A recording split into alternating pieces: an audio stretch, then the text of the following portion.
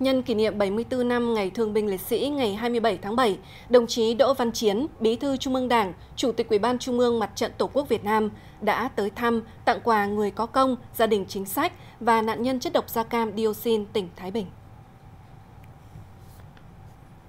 Đồng chí Đỗ Văn Chiến đã trao tặng hơn 100 xuất quà và hàng trăm triệu đồng cho Trung tâm chăm sóc và phục hồi chức năng người tâm thần tỉnh Thái Bình, xây nhà tỉnh nghĩa cho hai nạn nhân chất độc da cam dioxin và hỗ trợ tỉnh phòng chống dịch bệnh COVID-19.